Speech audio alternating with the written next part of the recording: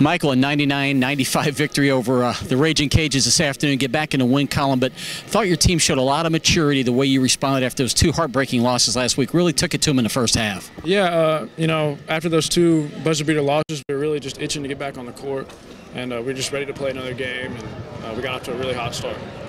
Obviously, it's a very talented team, and uh, Gant had a big second half for them, and they made a charge, made it closer in. But you guys made a lot of plays. In particular, you made a lot of big shots, shot off the wing, a shot out of the corner. Just talk about uh, executing in that moment when you know your team needs a basket. Yeah, um, you know, it just kind of comes to you. You just kind of run the run the play, and if the ball comes to you and you have an open shot, you just shoot it. You know, it's just you don't have to really overthink it.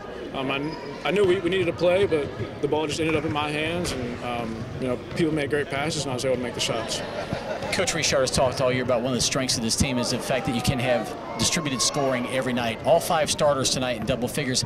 How does that help the offense, especially in the first half? Because you guys are really hitting on all cylinders, getting everybody involved. Yeah. I mean, it really helps offense because um, if you key in on one or two guys, then you just uh, leave three other guys that are all capable of scoring a lot of points open. So um, I don't think you can really key in or double team anybody because if you do that, then um, then another guy will have a big night. Daishon made a lot of plays down here at the end, especially when they went in isolation situations. Goes 13 for 13 at the free throw line. Uh, talk about when he steps to the line. I know you guys got a ton of confidence in him. Oh yeah, when he steps to the line at the end of the games, we got tons of confidence in him. Not only at the line, but just making plays out there. Um, you know, I, I, really like, really enjoy playing with him in, in the backcourt, and I think we. Uh, can have some success.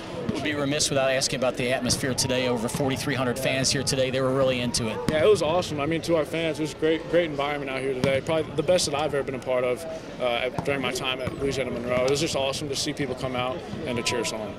Now, this starts a, a three-game homestand. You've got uh, Troy and South Alabama coming up. Uh, it's important to carry this momentum because obviously to make a run at the conference championship, you've got to be able to protect home court advantage. Yeah, definitely. Yeah, I mean, this is just one game. Uh, you know, it's an 18-game conference season, so we were lucky to get this one, but um, you know, we got to come Thursday and Saturday ready to play, no doubt.